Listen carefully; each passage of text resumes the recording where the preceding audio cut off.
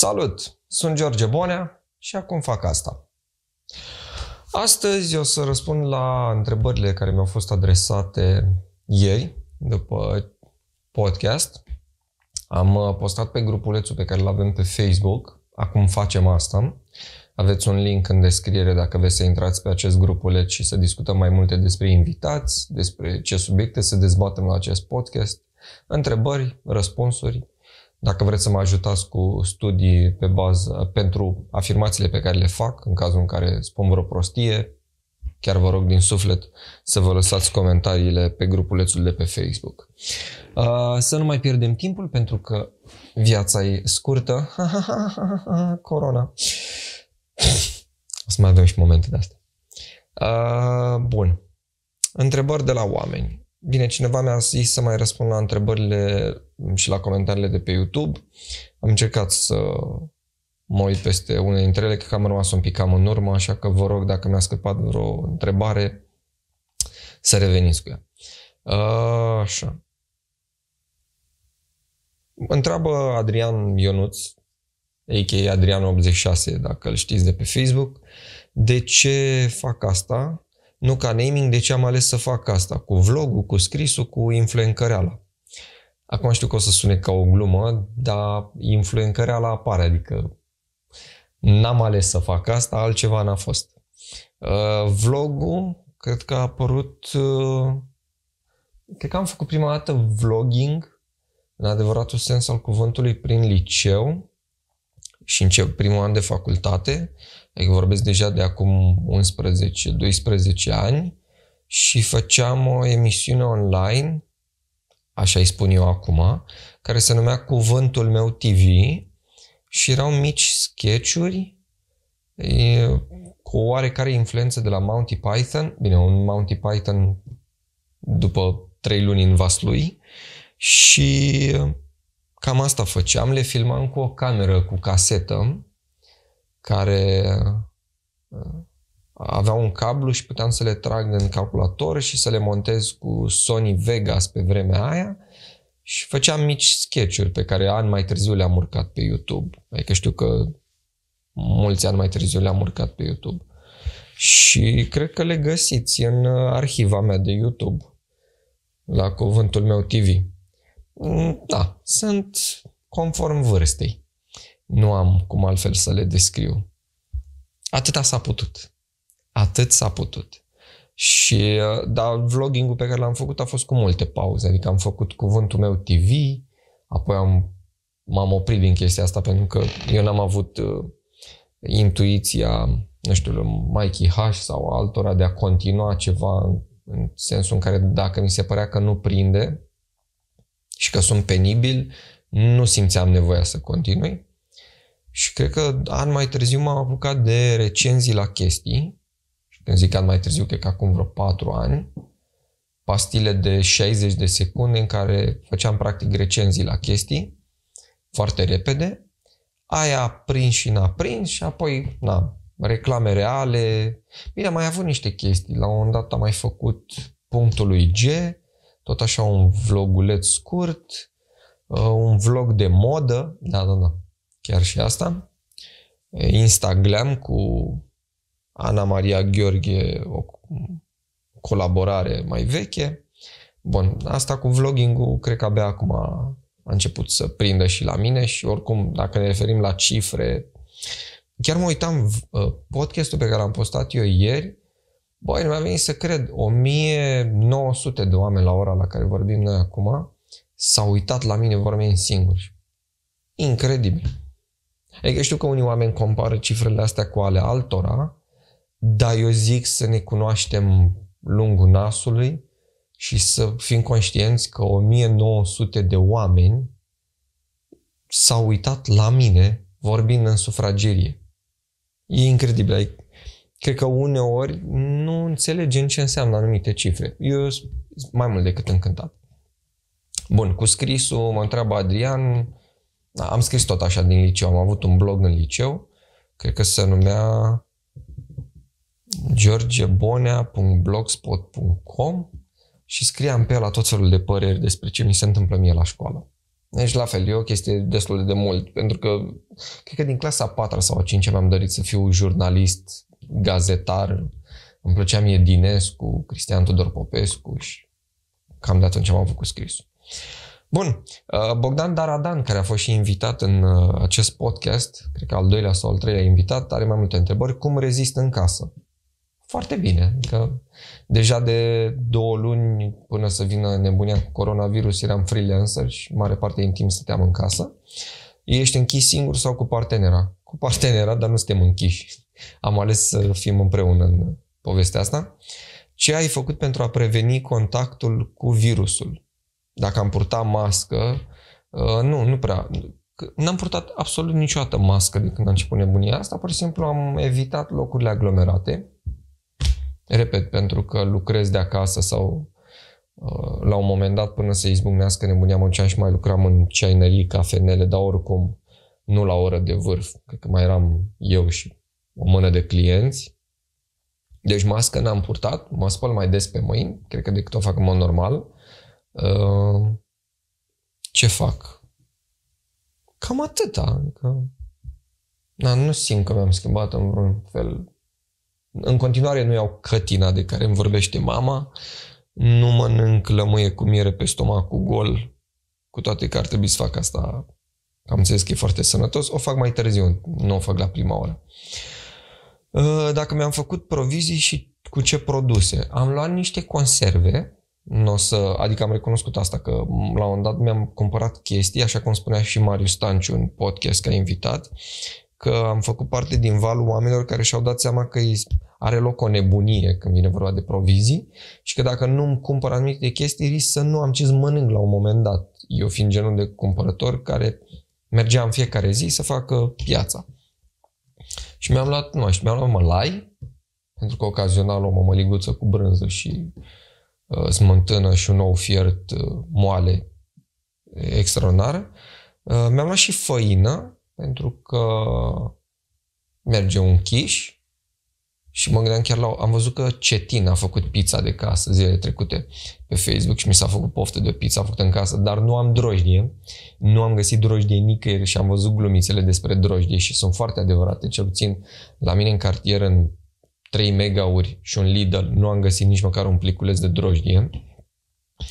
Uh, mi-am luat ton, pentru că îmi place tonul, avocado, că sunt hipster, nu am altă scuză. Uh, apă, eu comand apă de la o firmă care mi-aduce acasă niște bidoane mari și am un dozator uh, electric și, na, practic, o dată la o lună jumate, mă uit pentru că le am pe balcon, o dată la o lună jumate în comand cam patru bidoane și acum văd că mai am două, deci ar trebui să-mi ajungă apa. Uh, am descoperit acest stil de viață foarte relaxant în care nu mai car baxuri de apă, și odată la o lună și ceva mi le aduce un băiat la ușă, eu le car pe balcon și na, de ce să-mi omor spatele? Chiar acum beau apă din uh, propria butelcă. Uh, firma cred că se numește H2On. De fapt nu, așa se numește H2On și ți aduc ei apa. Uh, bun.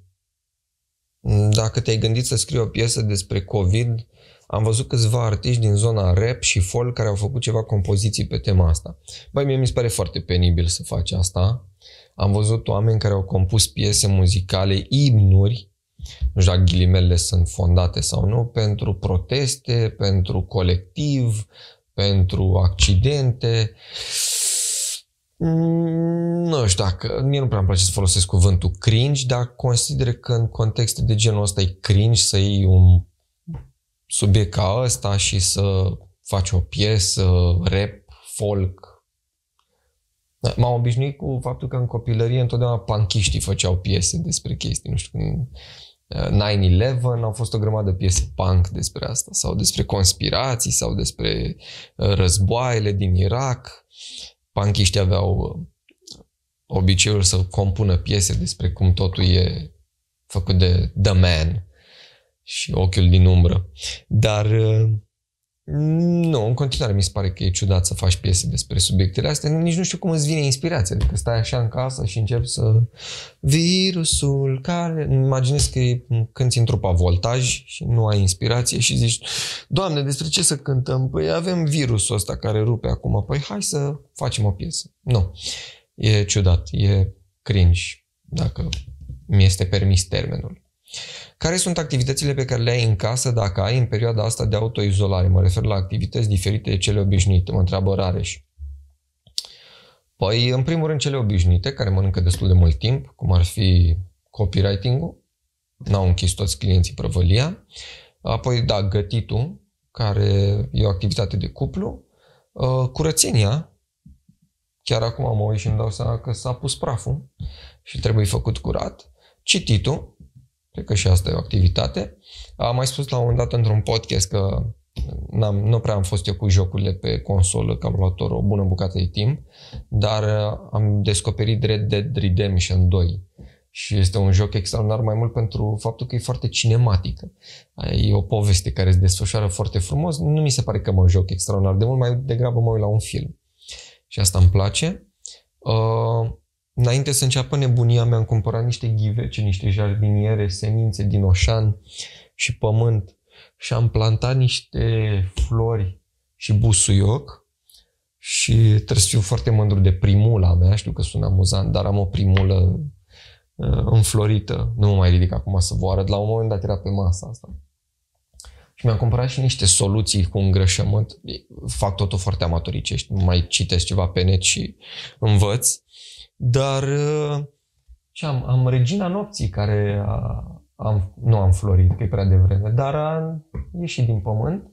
Uh, mai am niște crizanteme chinezești, uh, niște flori de-astea multe și școlorate și jos, în jardiniera de jos, nu-mi dau seama ce, dar oricum în fiecare zi mă uit la ele, ele se uită la mine, le ud și e totul bine.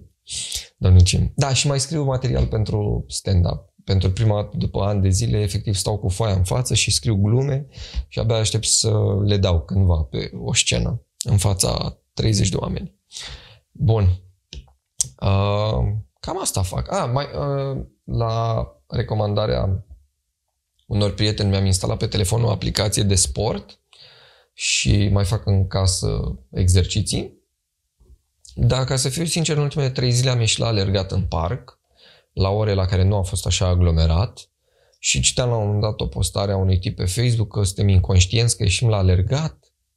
Băi, nu știu ce să zic. Adică e, e în parc. Am, sunt mai multe păreri contradictorii. Nu știu, mă contraziceți voi dacă am dreptate sau nu. Eu cred că e ok să ieși să te miști în parc. Asta dacă nu alergi umăr la umăr cu alții. Da, păreri și păreri. Cam asta fac. Nu cred că fac altceva. Adică, na, activitățile obișnuite. Uh, ce te face să mergi înainte? Întrebarea lui Valentin, nu știu exact la ce se referă. Sunt destul de optimist cu privire la viața personală. Uh, câteva recomandări de cărți, autori cât de cât uh, recente sau recenți. Mai am spus de Petronela Rotar, discutam ieri cu, despre ea în podcast cu privire la plângerea pentru Dana Budeanu, dar citiți Petronela Rotar pentru că în cărțile ei găsiți niște insight-uri uh, psihologice foarte, foarte faine. Uh, nu știu dacă ea de profesie sau e ceva psiholog, nu mă mai uit acum pe Facebook, dar uh, cărțile sunt foarte mișto. Uh, la un moment dat eu am zis de Cărtărescu că mi-a plăcut uh, o carte de la el, dar uh, așa cum am uh, spus întotdeauna, există Goodreads, care este un fel de Facebook pentru oamenii care uh, vor să citească cărți și care citesc cărți. Și um, na, ev- evident că îl recomand pe Saramago și acum am făcut rost de Evanghelia după Isus Hristos și imediat ce termin de citit, uh, uh, cum îi zice, globalizarea nimicului, o să mă apuc de Evanghelia după Isus Hristos și mă aștept să fie foarte comică pentru că îmi văd prietena că râde în fiecare seară la cartea mai mult decât a râs la glumele mele. Uh, pe Goodreads o să vedeți cam tot ce... Da, nu, o să vedeți tot ce am citit și uh, cam ce note am dat cărților, dar n-ar trebui să fie asta relevant pentru voi. Pur și simplu mai degrabă ca sursă de inspirație. Uh, în schimb puteți vedea și ce îmi doresc să citesc, așa că dacă aveți uh, pe acasă una dintre cărțile alea și e ceva ce am citit eu și vă face cu ochiul, putem să facem o leapșă și să ne dăm cărțile prin curier. Chiar, uh, chiar mi-ar plăcea să facem lucrul ăsta. Uh, deci Goodreads. Intrați pe Goodreads, acolo mă găsiți cu numele din buletin George Bonea și facem schimb de cărți și spunem ce ne-a plăcut și ce nu ne-a plăcut la anumite cărți. Cu toate că nu știu cât de relevant e asta, e o chestie de gusturi. Uh, câteva recomandări de artiști albume. Mm, mi-e foarte greu să spun legat de muzică. Eu nu-mi dau seama cum să-mi fac uh, piesele de pe Spotify. Din, am un folder cu piese care le-am dat like. Sunt vreo 1300-1400 de piese și nu prea îmi dau seama cum să fac chestia asta public. Am impresia că nu se poate. Dar uh, dacă ar fi să recomand ceva, uite, mă uit la ultimele uh, piese pe care le-am adăugat în playlistul personal și am de la Fatboy Slim, Gramatic, uh, Jimi Hendrix, ce mai am? Am Vivaldi, le-am pe toate puse la grămadă. Uh, Tribe Called Quest, am și câteva manele, am și Kenny Rogers, nu știu ce să vă recomand muzică. Ascultați și voi ce vă... Eu ascult în funcție de ce fac. Dacă citesc, ascult ceva jazzy, dacă gătesc îmi place ceva mai ritmat, inclusiv manele. Chiar zile trecute stăteam în bucătărie cu prietena și ascultam guță în timp ce găteam și făceam analiză pe versuri și pe muzică. A fost uh, foarte distractiv și n-am făcut-o nici la modul ironic, chiar mi-au plăcut piesele pe care le-am ascultat. Uh, bun. Uh, la un moment dat, Justin, tot așa la întrebări, m-a întrebat ce părere am despre o petiție. Asta se face acum, o petiție. Hai să, ăsta e titlul petiției, hai să strângem cât mai multe semnături online pentru reducerea materiei de bacalaureat. Și este Alexandru A, inițiatorul petiției, care spune că, dragi elevi, această petiție are scopul de a reduce numărul de lecții pentru bacalaureat, bacalaureat sau pentru evaluarea națională, dată fiind situația incertă cu coronavirus. Desigur că noi vrem ca examenele să se susțină în continuare și să nu se ajungă ca acestea să anuleze, ori să se înghețe anul uh, de studiu. Oricum trebuie să remarc că este scris foarte prost textul ăsta. Dacă l-a scris un elev, l-a scris foarte prost și n-a respectat regulile elementare de cum se scrie un text. Bun, uh, cu alte cuvinte, avem nevoie de cel puțin 50.000 de semnături online pentru a strânge, pe care să le strângem în perioada 15 martie-10 aprilie, anul curent, și se micșorează numărul de materii. Mie mi se pare o prostie. Poate nu o gândesc eu în destul de lucid acum, dar eu cred că oamenii ar trebui să învețe, a, că sunt prea multe materii, asta ține de uh, anvergura și analiza unor specialiști. Nu cred că elevii și oamenii din online care au puterea unei petiții ar trebui să-și dea... Mamă, dar văd că semnează lumea. Adică în momentele astea mă și mi-apare un scroll cu oamenii care semnează și la foc automat oamenii semnează petiția asta. Probabil sunt elevi. Dar nu cred că elevii sau oamenii din online pe care nu-i cunoaștem. Adică Maria F a semnat acum 13 secunde. Cine e Maria F? Ce studiare? Ce pregătire are ea? Uite, Bianca El a semnat petiția. Cine e Bianca el? Ce putere are ea? Ce studii are ea? Să-mi explice mie dacă materia trebuie micșorată oricând sau acum pentru că e coronavirus și nu mai se duc, nu mai merg elevii la școală. Pur și simplu, adică mi s-ar părea o stupizenie să se decidă un lucru atât de important precum cantitatea de materie pentru examene în funcție de o petiție online. Mi se pare o prostie. Da? Așa că, Justin, dacă te ajută cu ceva răspunsul meu, este o prostie. Este o prostie pentru că se lucrează cu o petiție online. Ar trebui oamenii care au mai multă școală ca noi să stea la o masă să zică, bă, e prea mult pentru elevi ce învață pentru BAC, da sau nu, hai să vedem niște studii. Nu așa a semnat Maria F, Denisa C, Andrei T, Doamne. Bun. Uh, și Iulian spune clipul lui Dorian Popa Conspirațiile a dispărut? Habar n-am. Dar înainte să încep podcastul ăsta am uh, văzut un, epis- un uh, video pe care vreau să-l șeruiesc uh, la secțiunea de, de la acest podcast. Este imediat vizionează, nu, am apăsat prost. Vizionează mai târziu. Este un video făcut de un antrenor de fitness, din ce am înțeles. Imediat sper să vă zic și numele lui ca să nu greșesc. Se încarcă netul ca o cizmă.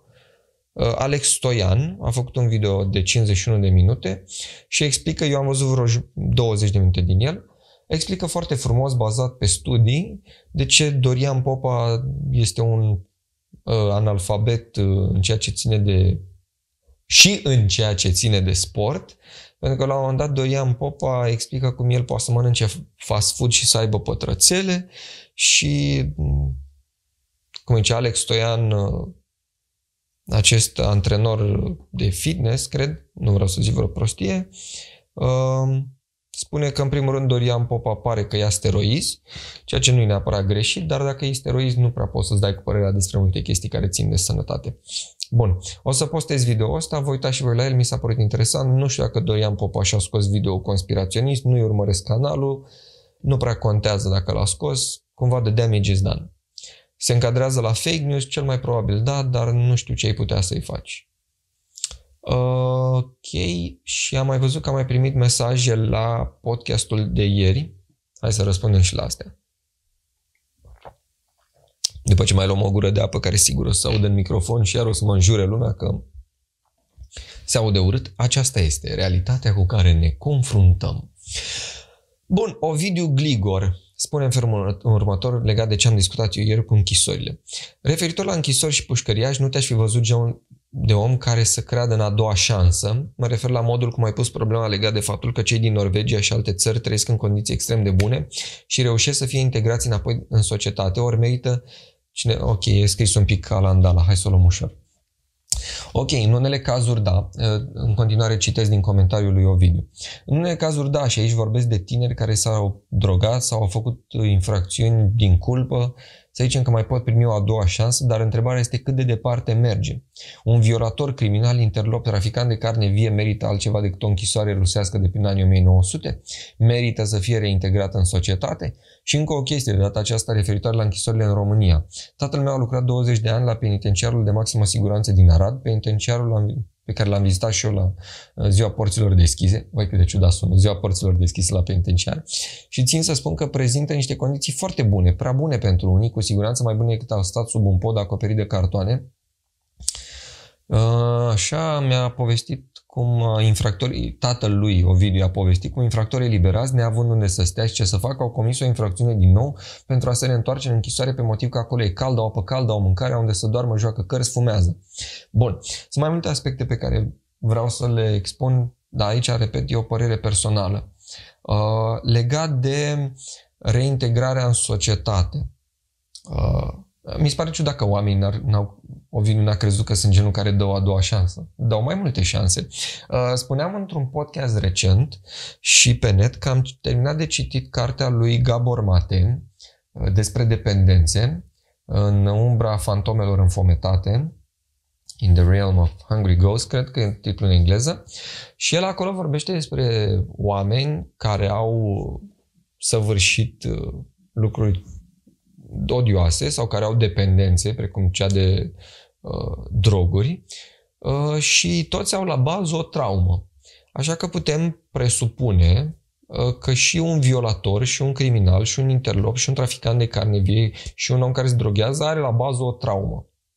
Dacă studiile lui Gabor Mate sunt uh, evidente. Bine, putem să luăm și alte lucruri în calcul, da, putem să plecăm de la premiza că toți oamenii au fost traumatizați la rândul lor chiar și, nu neapărat o traumă, dar chiar și faptul că eu fac un podcast sau faptul că oamenii, uh, nu știu, pictează, pleacă de la un punct T0, care poate să fie o traumă sau un imbold, și trauma este un imbold într-un mod uh, negativ și cred că oamenii pot fi uh, recalibrați. Sună foarte mecanic, dar cred că oricine merită o a doua șansă dacă se lucrează la repararea lui. Dacă, ce se întâmplă că, uite, de exemplu, Ovidiu spune că bagi un violator, un criminal, un interlop, un traficant de carne, îi bagi într-o pușcărie rusească de, cu condiții de la 1900. Da, dar oamenii nu sunt condamnați pe viață.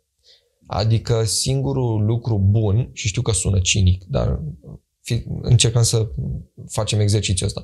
Singurul lucru bun la a avea o închisoare de la, rusească de la 1900 și a băga un om în ea e să-l ții pe viață acolo. Pentru că n-are ce să-ți iasă bine de acolo. Adică un criminal nu o să-ți iasă un om mai bun dintr-o închisoare rusească de la 1900. E foarte slabe șanse. O să iasă mai înrăit, mai răzbunător, mai traumatizat, probabil o să știe, o să aibă niște skill-uri mai bune în a omorâ, nu are cum să iasă ceva mai bun de atât. Pe când alte studii arată că dacă lucrezi la reintegrarea lui și să-i demonstrezi că viața nu e atât de neagră cum probabil a văzut-o când era copil, lucrurile se schimbă. Sunt cumva studii care arată chestia asta. Așa. Și legat de închisorile din România, ce a spus el, Uh, cu ziua porților deschise, că sunt condiții foarte bune. Probabil sunt condiții foarte bune, repet, dacă comparăm cu chestii pe care le știm, nu știu, condițiile unor studenți sau cu ce ne așteptăm noi, de fapt. Că zicem, ia uite tu în mintea ta trăiești cu impresia că în închisoare oamenii ar trebui să doarmă pe jos și să mănânce coși de pâine. Și tu când vezi la televizor că ei de fapt au paturi, saltele și un televizor, ești wow, lux. Probabil sunt condiții umane și se leagă de faptul că oamenii ar trebui cumva reintegrați. Uh, bun, și unii vor să se întoarcă în închisoare, repet, uh, spuneam și ieri, n-ar trebui să ne gândim de ce unii vor să se întoarcă în închisoare Uh, pentru că acolo au casă, masă și un acoperiș de supra capului, ci ar trebui să ne gândim cât de oribilă este viața, cât de îngrozitoare este uh, o societate în care oamenii preferă să ajungă în punctul ăla. Cred că așa ar trebui să punem problema. Bun. Uh, Baba Novak. Nu prea îmi place să citesc comentariile oamenilor care au pseudonime. Mi se pare o lipsă de curaj să ai un pseudonim în contextul în care eu mă prezint cu numele meu, dar hai să facem și efortul ăsta. Bun.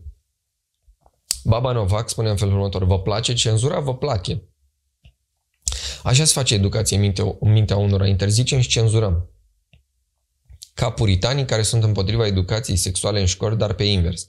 Desigur, ambele categorii se cred modele de virtute și poate ori fi în ochii limitați neuronal. Ce e amuzant e că Bonea începe să se plângă de slippery slopuri la care duce încurajarea cenzurii pe motiv de ultragiere morală, după ce ce îl încurajează în cazul Dani Budeanu. Ok, cred că ce a vrut să spună Baba Novak este că eu la rândul meu spun că cenzura nu e bună, dar în același timp spun că e bună în anumite situații.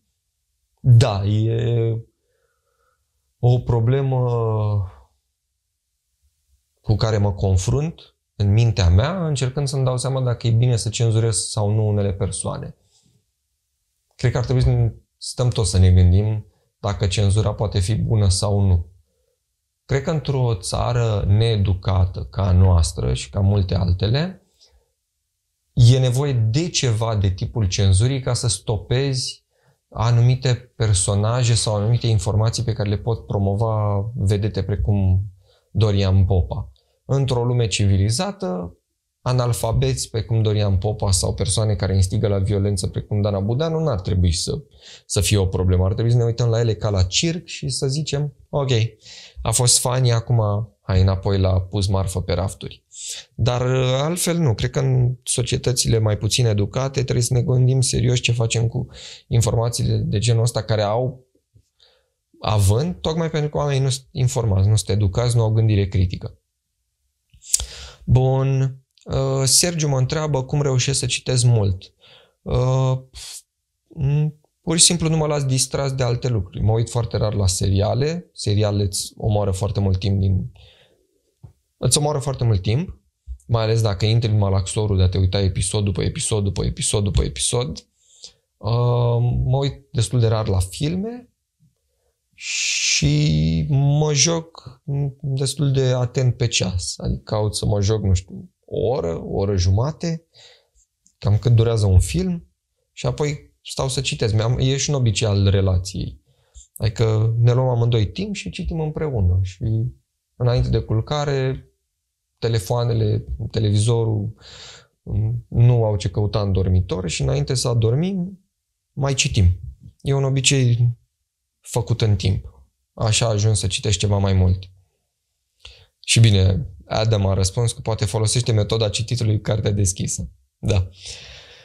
Uh, Mihai Vârtejaru, pe care l-am invitat și la podcast și aștept să-mi confirme că o să vină, este un om care mi se pare fascinant prin prisma meseriei pe care o are.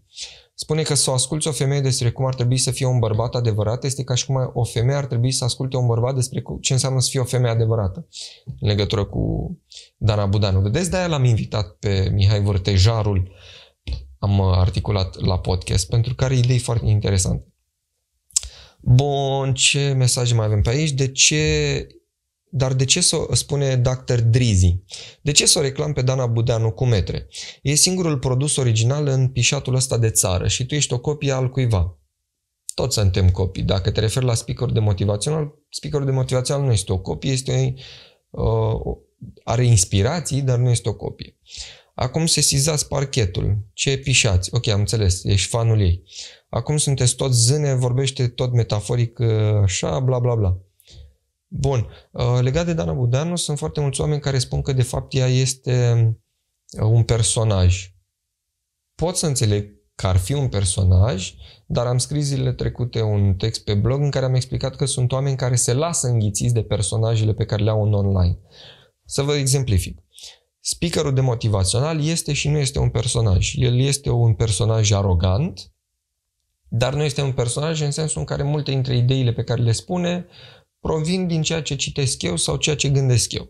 Dar modul în care este el îmbrăcat este un personaj. Eu nu umblu așa pe stradă, nu vorbesc uh, atât de pompos și nu sunt atât de arogant, sper.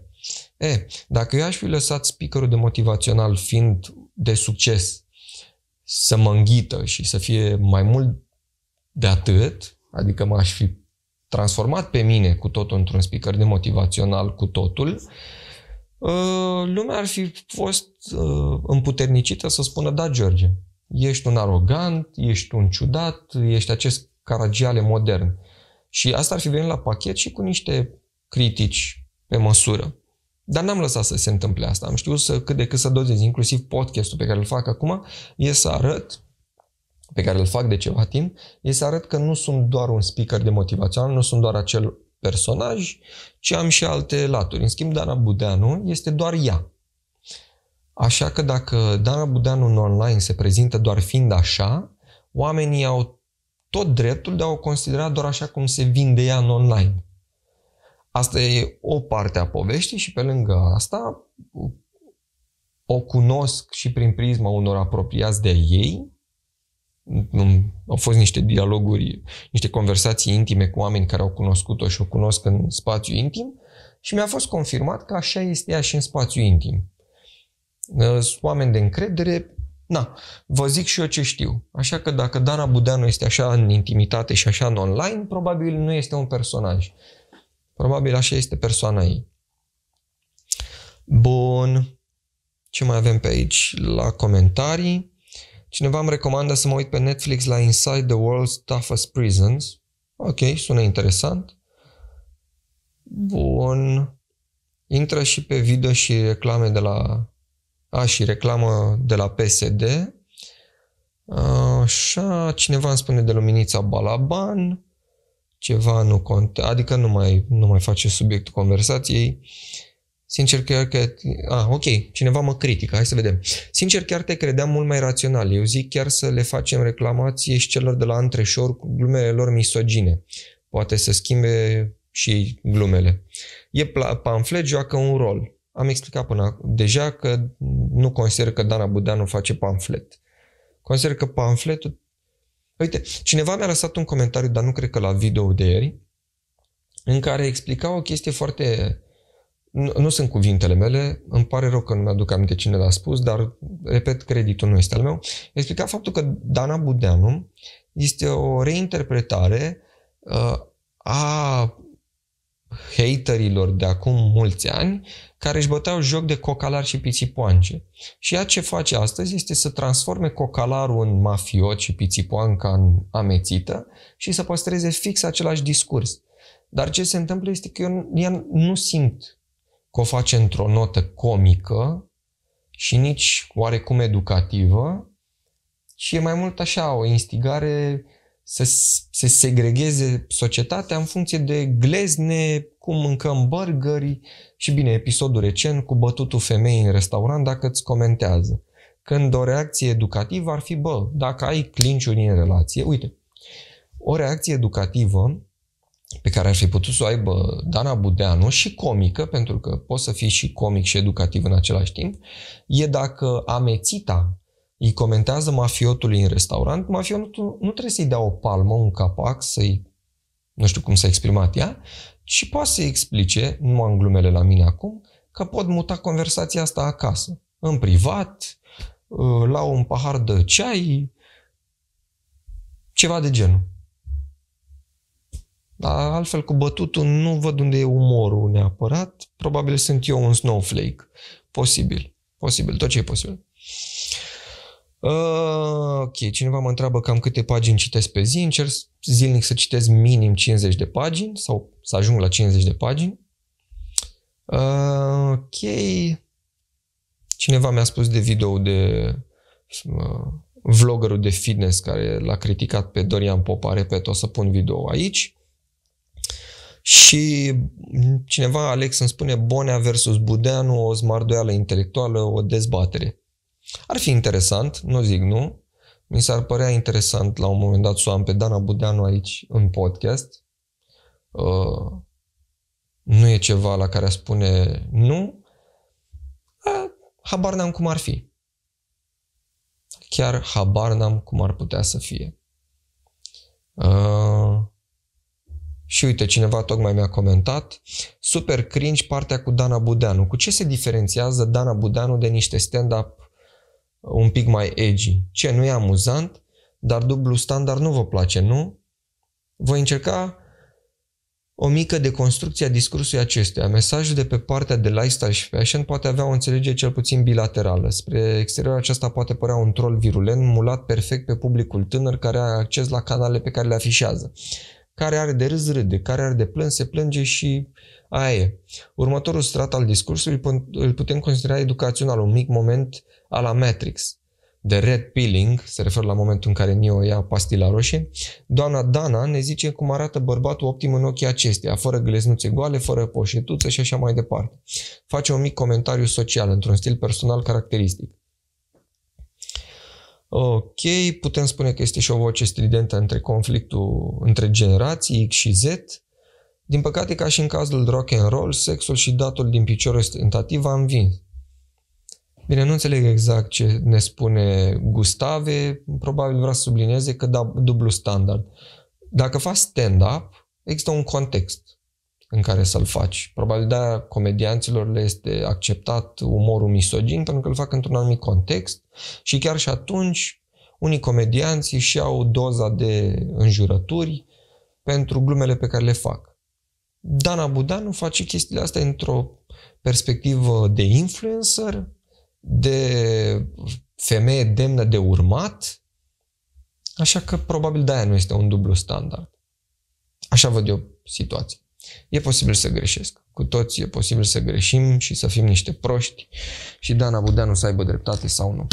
Uh, înainte să închei, vreau să vă mai zic o chestie citisem ieri un pasaj foarte interesant din George Ritzer uh, despre non-persoane și persoane. Și uh, e un pasaj foarte interesant, uh, e o bucată uriașă, de fapt, despre non-obiectele pe care le cumpărăm, cum ar fi mobilierul de la Ikea, care nu are personalitate, e produs în masă, despre non-destinațiile unde merge, precum Disneyland-ul, care a fost depersonalizat pentru simplu fapt că nu are o încărcătură locală, nu are o identitate locală, ci pur și simplu este un construct.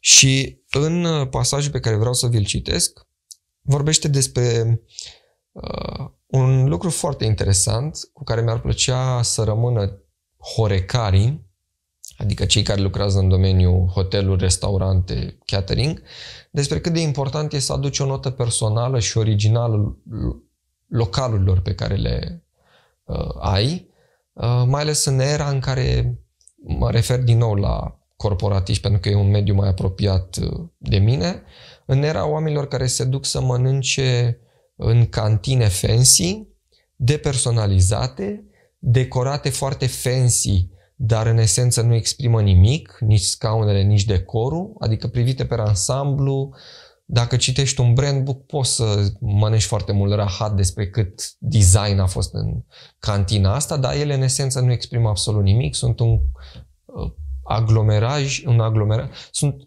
o masă de obiecte care vin din tot felul de culturi și împreună nu exprimă nimic și ele sunt produse de masă și nu au nicio legătură cu nimic. Și cum de fapt în cartea lui George Ritzer vorbește foarte frumos și logic despre de ce Uite cum e în Scoția, ne-am fost de curând, în Scoția ai puburi care rezistă atâția ani și au clientelă fidelă și au identitatea lor pentru că s-au străduit să nu fie mai mult decât sunt, adică un loc intim pentru o clientelă fidelă, pe când altele vor să se extindă și handicapul momentului când vrei să te extinzi este că începi să vrei să fii cât mai mult pe placul tuturor, ceea ce înseamnă că tai din identitatea ta. Repet, recomand cartea asta, deschide foarte multe minți. Bun. Uh, citez. Barmanii dintr-o cârciumă sunt de obicei personaje unice. Au personalități distincte, clienți, mai ales obișnuiții localului, îi cunosc bine, iar ei, la rândul lor, își cunosc bine clienții. Relația lor cu clienții și relațiile dintre clienți pot deveni profunde și complexe. În afară de patronul localului, nu există nicio autoritate centrală care să fi conceput replicile barmanilor, foarte important când mergeți la McDonald's sau la fast food și vi se pare că aveți parte de o experiență extraordinară cu angajații de acolo, ei de fapt au niște replici pe care le spun. De, repet, în afară de patronul localului, nu există nicio autoritate centrală care să fi conceput replicile barmanilor sau care să le controleze acțiunile. Această afirmație nu se aplică la personalul din parcurile Disney. Compania Disney este faimoasă pentru autoritatea și controlul exercitat asupra angajaților. Oricare dintre angajați poate să fie îmbrăcat în costumul lui Mickey Mouse albă ca zapada, li se spune de la bun început ce să spună vizitatorilor, cum să-i salute, formule de exprimare. Cei care joacă aceste roluri sunt interșarjabili. Și asta e un lucru foarte interesant și o să vreau la finalul podcastului să mai spun câteva lucruri despre cât de interșarjabili suntem, șarjabili ce cuvânt complicat. Și chiar dacă aduc un strop de creativitate și originalitate în interpretarea lor, tot ceea ce fac este prevăzut într-un scenariu detaliat, așa că nu are nicio importanță cine anume poartă costumul respectiv. În ceea ce spune și face un personaj din distribuția Disney, nu prea este loc de complexitate sau de substanță distinctivă, iar consecința este că orice individ poate fi înlocuit. Rețineți, orice individ poate fi înlocuit. De fapt, un costum poate fi îmbrăcat în aceea zi de mai mulți angajați. Un barman este greu de înlocuit, iar dacă schimbarea are loc, este foarte probabil ca relațiile cu clienții și ceea ce se întâmplă la bar să sufere modificări majore. Probabil ați avut și voi un barman preferat de-a lungul timpului. Un bar își poate pierde din clienți dacă barmanul îndrăgit părăsește localul, dar la Disney World afacerile nu au câtuși de puțin de suferit dacă persoana din costumul de Mickey Mouse este înlocuită. Și este foarte adevărat. Și mai este un lucru adevărat despre cât de uh, cât de ușor suntem de schimbat. În altă parte a cărții vorbește despre faptul că într-o, în locurile de muncă în care suntem învățați ce să spunem, ce să muncim, ce să uh, lucrăm, de fapt suntem niște oameni ușor de înlocuit. Pentru că din momentul în care identitatea ta este înlocuită cu identitatea companiei pentru care lucrezi, ăla e momentul în care ar trebui să-ți dai seama că de fapt tu nu contezi, ci tu ești doar un suport peste care s-au așezat niște informații și skillurile tale sunt folosite ca acele informații să se ducă mai departe. Repet, skillurile, nu caracteristicile tale personale. Și uh, aseară, când întreba cineva ce, am fă, ce fac uh, în vreme de corona, aseară am văzut un film care mi-a fost recomand, recomandat în carte, Uh, filmul se numește uh, One Hour Photo, este cu Robin Williams. Probabil uh, în România s-ar traduce cu poză la minut. Uh, pelicula, nu, Obsesia e tradus în România. One Hour Photo, e un film din 2002, vi-l recomand, este vorba despre uh, Cy Parrish, un personaj interpretat de Robin Williams și ce este foarte interesant de văzut la filmul ăsta și citind cartea lui George Ritzer mi-am dat seama că de foarte multe ori ne uităm la filme foarte ne uităm greșit la filme. Pentru că atunci când ne uităm la filme, suntem în căutare de entertainment și focusul principal este pe ce face personajul. Dacă m-aș fi uitat la filmul Obsesia, fără să citesc în carte insight-urile filmului, m-aș fi uitat și aș fi zis, wow, uite un personaj nebun, uite un personaj ciudat, uh, interpretat de Robin Williams și uite ce nebun el și ce face el.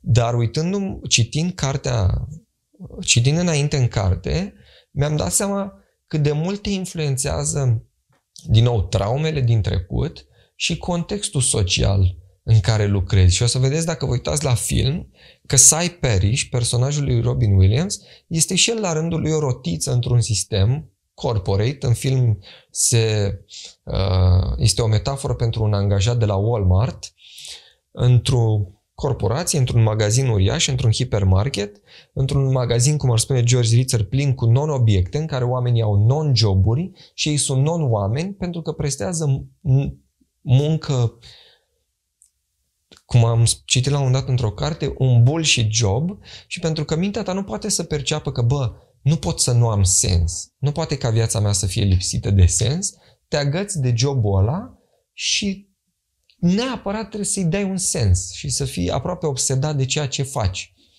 Și acum îmi dau seama că m-am uitat la foarte multe filme cu personaje cu probleme psihice și în loc să mă leg de substratul pe care regizorul și scenaristul au încercat să lege ca să înțelegem mai bine cum de acel personaj a, a ajuns să fie în punctul nebuniei, foarte mulți oameni se uită și a, uite ce nebun. Și cumva exagerările din film ne ajută pe noi să nu ne proiectăm, dar de fapt ar trebui să ne proiectăm în foarte multe situații. Adică oamenii, dacă se vor uita la filmul Obsesia, vor zice, eu n-am cum să ajung în punctul ăla pentru că nu am fost traumatizat în copilărie. Mm, ok.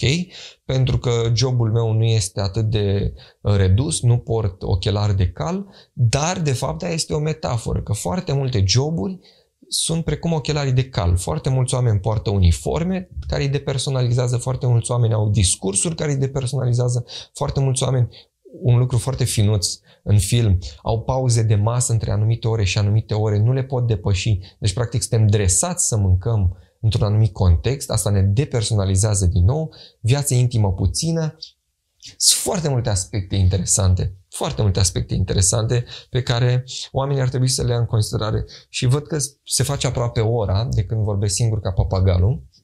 Și mai vreau să zic un singur lucru. Uh, știrile, pentru că în continuare suntem la curent cu ceea ce se întâmplă în uh, știri. Uite, un elastic de păr. Sunt mai multe prin toată casa. Uh, Știrile ne prezintă situația coronavirus doar ca pe o bombă economică care va să vie. Și mi se pare că se uită aspecte foarte importante pe care probabil mass media nu are niciun interes să le prezinte, dar poate oamenii din online ar trebui să le spună. Uh, perioada prin care trecem noi acum va avea un impact economic și asta e un lucru indiscutabil.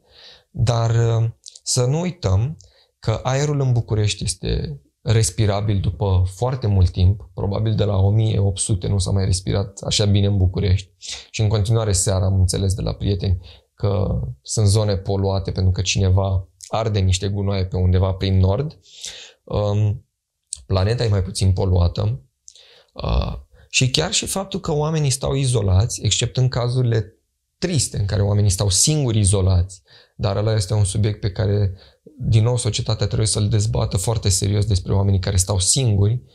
Uh, cuplurile care stau împreună în perioadele astea ar trebui să, repet, chiar ar trebui să vorbească mai mult și pe social media și în presă, dacă au cum, despre ce bine a adus să se stea împreună, să se gătească împreună, să se iasă în parc ziua în timpul săptămânii, uh, pentru cei care ies uh, și e ok să iasă, timpul petrecut împreună, uh, inclusiv să stai cu partenera să citești la prânz, băi, somnul de prânz este foarte, este o comoară pe care am pierdut-o în copilărie și o recâștig acum, gătit împreună, cumpărăturile făcute împreună, inclusiv faptul că sunt cupluri care stau împreună și își fac planuri despre cum o să fie când se termină corona.